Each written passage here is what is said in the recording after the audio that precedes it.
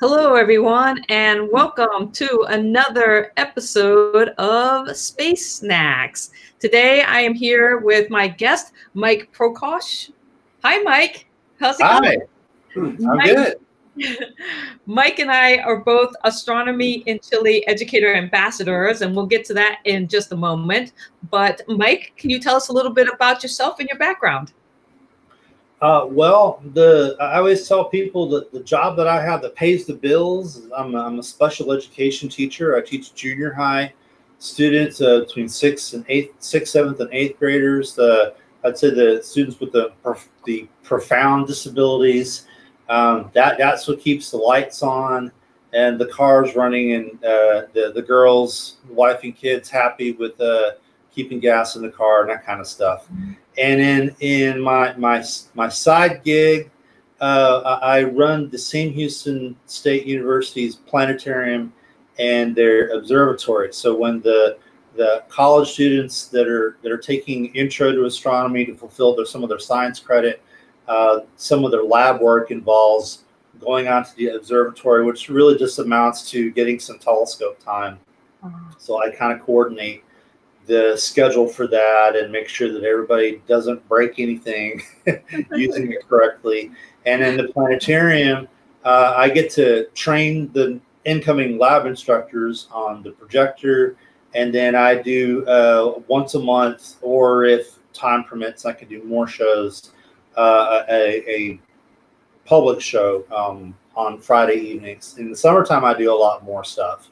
But uh, in, in the, the regular September to May time of year, it's uh, a lot less. And so you you've been doing that. You've been there for quite a while, uh, almost twenty years, right? Yes, I, I've been a, a public school teacher for, for 20 years, and I've been running the uh, doing stuff at Sam Houston for uh, right at about 19. And so, why space? Have you always um, been, you know, a space enthusiast? I feel like we're kindred spirits because I'm a geoscience professor. I've been doing it for just over 20 years, but I also like I love space, and so space is kind of like you you, have it where you actually get paid to do some stuff with space. Um, I haven't figured that out yet, uh, but as a kid was space always part of your you know your life what you wanted to do It's uh, it was always a part of the equation. I remember asking for a telescope very very young, and the first year I was asking for it, I got a globe and an atlas. I'm like, okay, that's kind of cool, but it's not a telescope. Then the second year, I think my grandparents did the thing that a lot of people do and get them mixed up, and I got a microscope instead of a telescope. And I still have that microscope. I use it, but I, I can imagine they were asking, why is he still asking for this? We just gave him one. Like, no, no, no, it's not telescope. You gave me the wrong thing.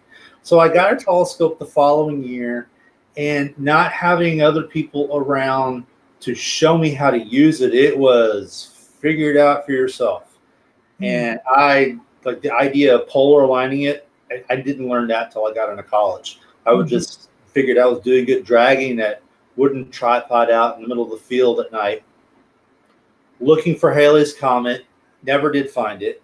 Um, but every time the the book fair would come into the elementary school and, and the junior high, there was always uh, you know some astronomy books. And granted, the material that was in it, I already knew everything, but the pictures were always different. That's why I buy the books. And so I've always been interested. I liked going out looking at uh, looking for lunar eclipses. Uh, I discovered Saturn. So I don't believe it. Anybody else? I'm the one that found it. It's mine. I, I, I was looking. I had seen this little show called Star Hustler. It used to be on PBS with Jack Horkheimer. I don't know. He's pretty. Um, and he was talking about looking for Antares in the constellation Scorpius. And I don't remember him mentioning at the time Saturn was right next to it, and they looked about the same color, about the same brightness. And I point the telescope at the first star. I'm like, okay, that's Antares as described. Well, what's this other thing? oh my God, that's Saturn. So I found it. It's mine. you know, that's funny because one of the things when I talk about being an explorer to kids today is they always think that they have to discover something new to humanity. And I always tell them, I'm like, no, you can be um, an explorer if it's new to you. Um, mm-hmm. Self discovery is so powerful. And it sounds like you, you know, Saturn, anytime I discover a planet for myself, I'm like, oh, Jupiter. Yeah. or yeah. Mars. It's mine. I just now claimed it. What um when we talk about exploration, what type of explorer are you? Do you want to go to the moon or Mars, or would you want to do the ISS or uh, one of the low orbit flights, um, or just well, stay here Be, be, because I, I, I read up on some of the things like that, and I know that the trip to Mars is very very long.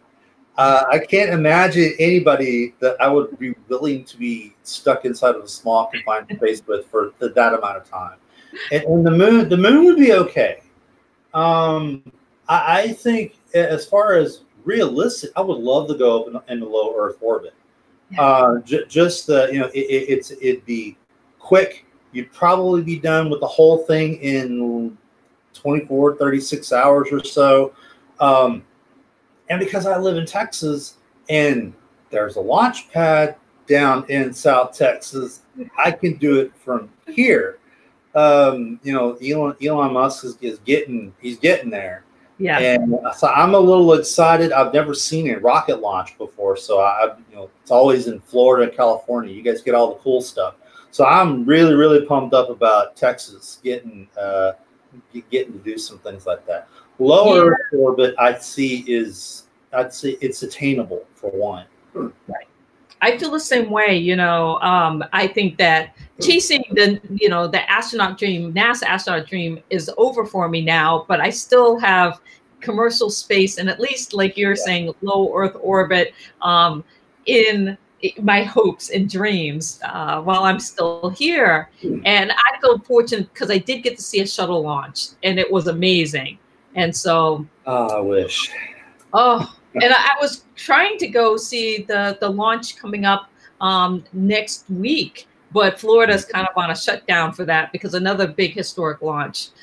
Um, if you going from space to food, if you could eat anything in low Earth orbit on your on your as you're going around the Earth and having this amazing view, what would you want to eat and why?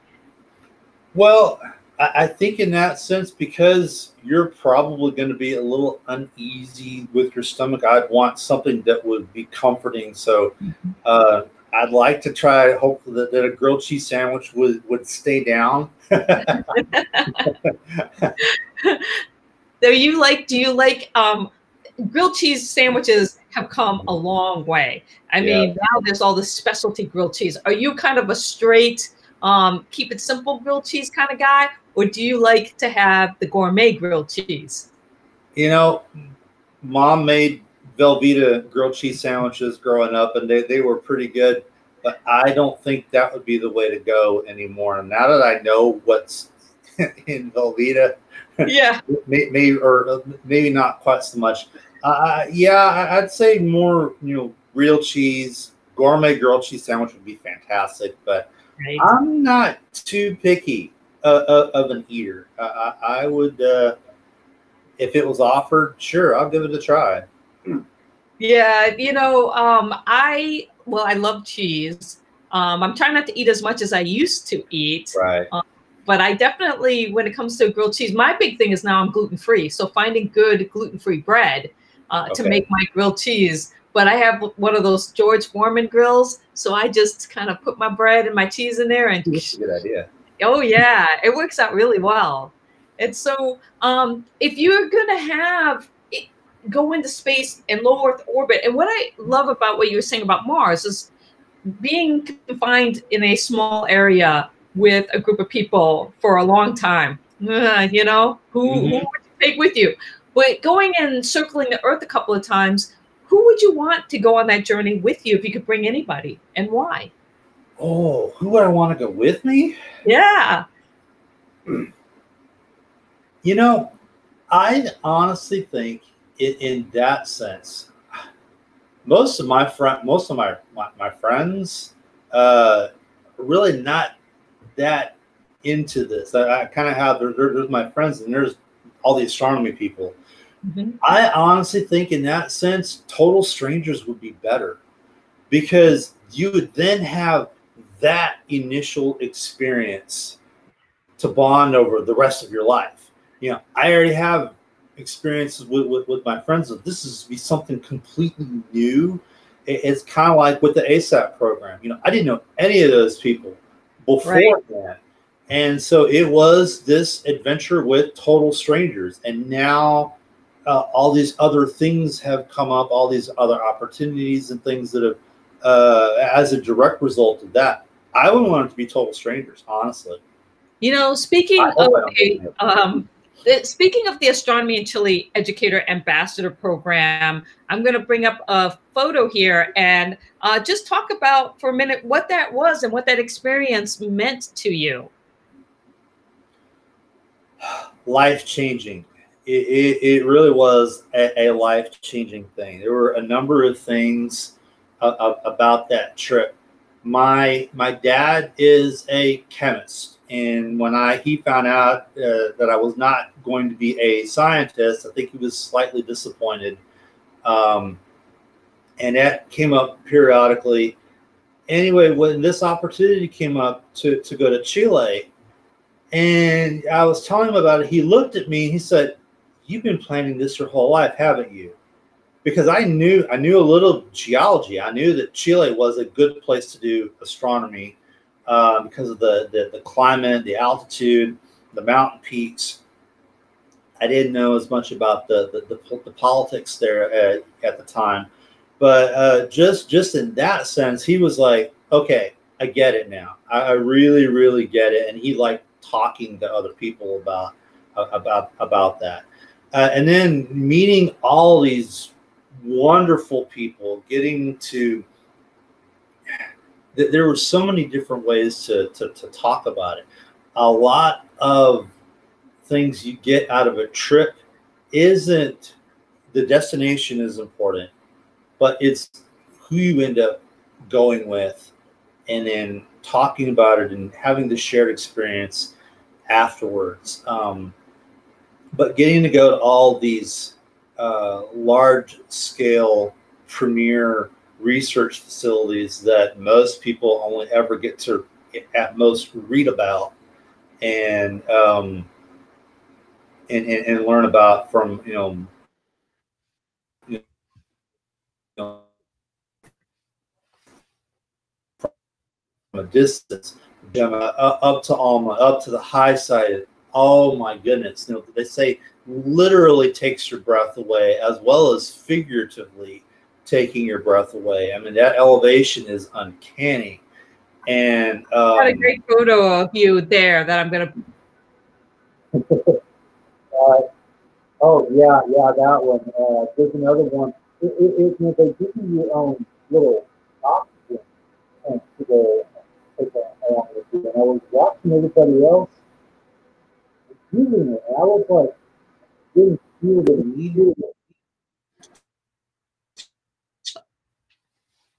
to, to, to uh, took a little more to see was, and but I didn't really notice anything. But you know, they say at high altitude, you, you don't you have to be careful. So you, you don't know if you're acting goofy or whatever. I think we were all just elated uh, to, to, to get to go up, and it makes you hungry to go back it, watching all the other groups that have gone up before, I have a hard time watching it because I get a little jealous. I'm like, oh, man, how can I trying to find a way? How can I go back? How can I go back to San Pedro? How can I go back to to to, to, to La Serena? Um, and still trying to find a way to do it. And now it's going to be even harder to do, but right. Uh, keep working at it. Now I'll get there eventually.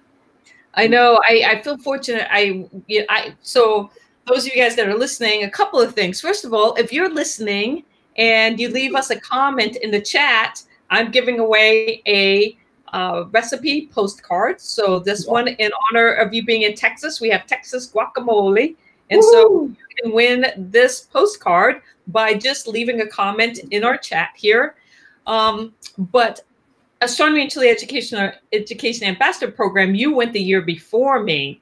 Mm-hmm. And and then I got lucky and got selected and went the following year. But then what's great about the program is they bring us together um, at different locations, and we finally got to meet. Yes, and, which was which I think is part of why I love that program so much is that you get to interact with previous or future cohorts. It doesn't end. You you you're you're in, and as Tim says, once you're in, you're in. and and so uh, so that was actually the the second uh, reunion of sorts. We got back together in, in Green Bank that fall. It was a smaller group of us. We got together in Green Bank. That was fun and um, and then there there at Kitt Peak, I got to meet you, got to meet David, um, David Lockett, and then uh, I don't know what it is about going to places like that and suddenly weird weather phenomena. We, we had like a, a, a blizzard blow through. I'm from South Texas. That doesn't happen. So I was not prepared for high altitude. Yes, whiteout conditions, uh uh I know that was pretty crazy. Yes, uh, then, um, the VLA was this past year, and uh, mm-hmm. I'm really hoping we end up going to like um, uh, Arecibo. I'm like, that's yes. the one. I'm like, well, let's go to Puerto Rico. So going back to food, and I know you've got the girls, three girls. Um, do you like to cook? Are you a baker? Do you are you do takeout, grilling? What do you guys do at home for food? I I, I like to cook. I, I'm a baker, but I, I'm my you know you have kids they get to be picky. So I learned early early on don't try to please them. So I'm going to bake what I like to eat, and if you want some, you're more than welcome to it. If you don't want to eat it, well, fine, just more for me. So I don't bake for others. So if you see me cooking something, it's something that I already know. I already know I like to eat. Uh, so I, I'm not a fan of nuts in in most things, and so I when I bake cookies, and I really don't like baking cookies, but if I bake them, it, it's there. There are no pecans in it. The Texas pecans got to be every in everything. Ruin a perfectly good cookie by putting nuts in it. Same. Okay. Uh, what about chocolate in a cookie? Oh, chocolate chip, absolutely. That, that that's the number one answer. Uh, but I, I, like to bake. Uh, I have a, a, pound cake recipe that my mom made. We we had chickens growing up, so we had an endless supply of eggs. And this recipe has nine eggs in it. Oh my goodness! If you're wow. on a diet, it'll kill it. we want to talk about how much sugar and, and, and, a couple other ingredients that are in it. If you're on a diet, just forget about it. But I could eat that pound cake for breakfast, lunch, and dinner for about two days, and then I'm done with it for a while. But um, sounds amazing, though. I might have to have you enter it. I have a uh, Meals for Earth recipe contest right now, and so I might have to send you the link so you can submit that recipe because that sounds it awesome. Is, it is five ingredients. I, I saw that. It, it, it, it, I think it would qualify. The um and so do your girls love space the way you do? A little bit. I, I think they I had hoped that one of them would just take off and do with it on their own. But you know, you got to let kids find their own things. They there's a couple of them. My older one, my oldest one, she was interested in it for a little while. Again, it was I think it was because dad wanted to go do it. You want to spend time with dad, let's go do this. So I took, for example, I took Leslie with me one time to, to uh, LPSC, um, and and, and uh, we I remember she talked with somebody who was uh, who uh, um, I forget what her name was, but she had worked on the SOFIA program, and so I was trying to let you know, hey, you know, there are other, you know, people besides me in, in, into this sort of thing. And then the other two girls, sometimes they say, Daddy, can I go to the planetarium? So I'm teaching Charlotte how to, uh, occasionally I'm teaching, letting her, you know, look at the planetarium console and the stuff. I haven't quite let her like touch the buttons on that, But I have let her use it, taught her how to use the observatory stuff, the big telescope. Um, and then she knows how to use the, the, the eight inch Dobsonians. Sometimes when I, I know I have Boy Scouts or Cub Scouts, I say, all right, kid, um, I'll give her a telescope. You're in charge. She's like, what? I'm like, you're in charge. I look at the boys, the other kids are like, she's in charge. If she says don't touch it, don't touch it. Oh, that's so great. You know, and she's uh, 12 or 13, right? She's 13.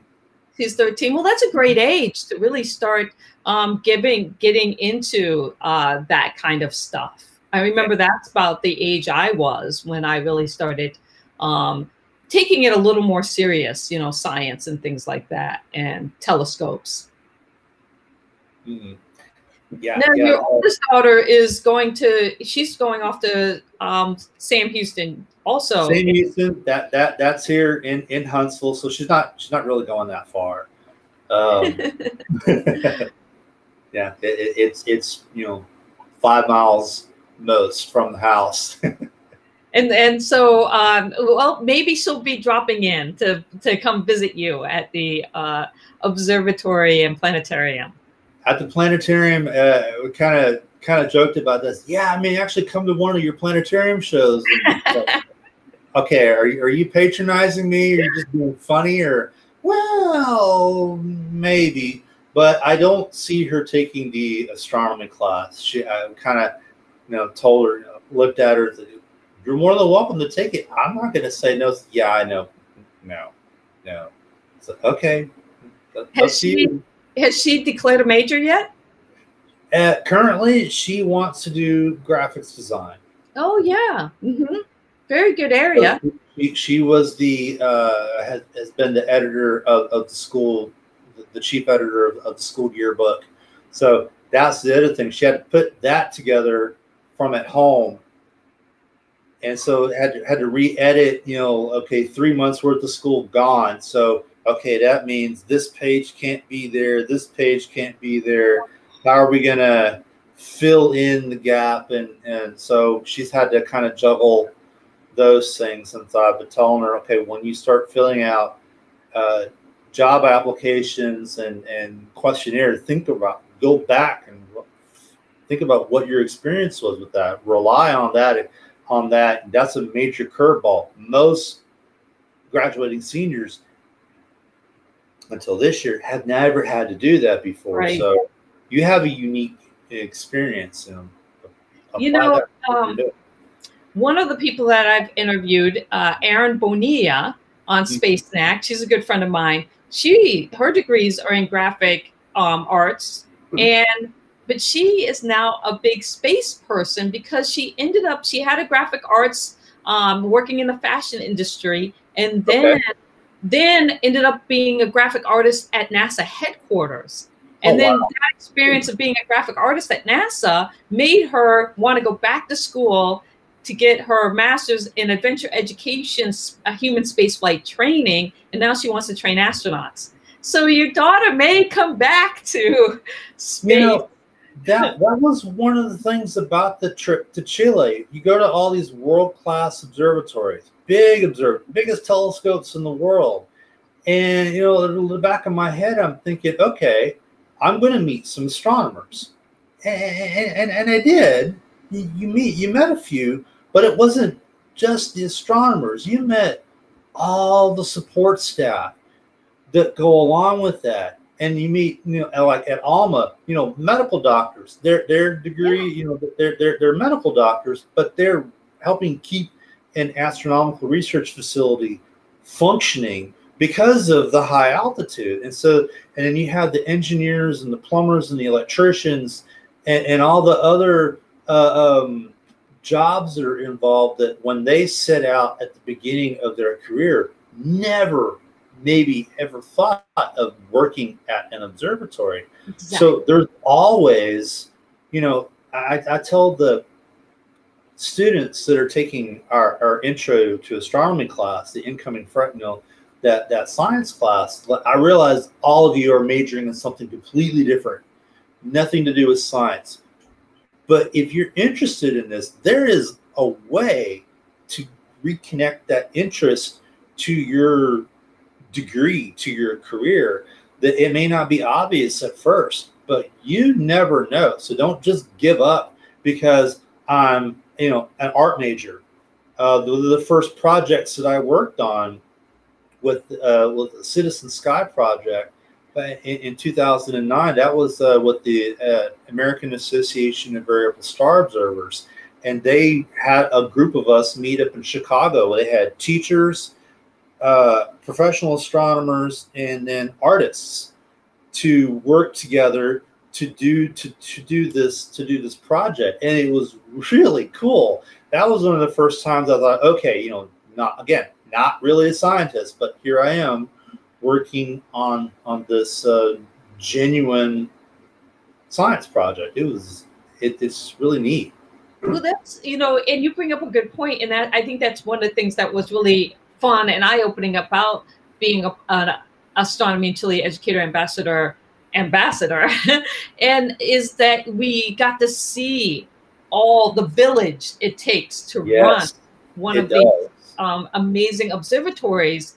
And as a community college professor you know I have non-science majors and the same thing where I'm telling them you don't know, you know. I've had actual graphic artists convert to wanting to become planetary scientists from taking my class just hmm. because they had so much fun laying out the science communication part and right. um, and needing the graphic artists to be able to communicate the science and to create the pamphlets and create the posters and all of that media that goes out. Yeah, there's there's a lot of thought, and, and you need a, a, a variety of people to be able to translate that in, in the right way. You know, a lot of scientists aren't always the best communicators, right? And, and so you know, it, it, it really does take you know a, a, different way of looking at things, and you, you need someone who has enough of a science background to grasp the the the, the, critical science concepts, but at the same time to be able to communicate that out to um, people who aren't science majors who aren't scientists that still have an interest in it and want to understand why is this happening? Why are we spending money here? Why are we doing this there? Why can't we just go to mars like that? Well yeah. takes six months to get there. Oh. Okay that i understand. So I've got uh, uh, two more questions for you. One, do you have a drink of choice that you like to have when you're eating a grilled cheese sandwich or a cookie? Coffee. coffee. Uh, there are other beverages, of course, but if, if you're going to offer me coffee, I'll take it. Now, are you a straight black or are you uh, a yes. gourmet coffee? Oh well, well, straight black. Gourmet coffee. You know, no, no cream, no you know, maybe a little bit of sugar depending on how how it's been done. Uh, actually, because of the well, not because of the during the virus first couple days, we had a uh, we had a blackout here. We had a lot of hailstorms and stuff come through, and and uh, I had to learn how to learn how to use my French press. At, at the time, I was like I was jonesing for coffee, and I was almost ready to make it. And then the lights went out. I thought, hmm, okay, ah, that French press. I'd never used it before. So like, yeah, okay, coffee. Okay, are you still using your French press? Have you gotten into a routine of that? I, I, I, haven't. You know, I, I'm also I've gotten a little bit lazy. So so no, but but I, I I need to practice with it. No, are you a snacker? When everybody's asleep. You're a late night snacker. I'm a late night snacker. Go to sleep. Daddy needs to eat something. what do you like to snack on late night? Cookies. Cookies. And your favorite type of cookie? Cake. Sometimes, uh, uh, sometimes uh, you know, I'm a sandwich guy. Uh, favorite cookie? Chocolate chip or peanut butter cookies. Oh, see, you combine both of those together, and that's my favorite. Yeah peanut butter chocolate chip. Oh, just to, to, die for. Um, and so, Michael, it we're at the end, and so I want to thank you for coming on Space Snacks. And how can people follow you or learn more about the observatory?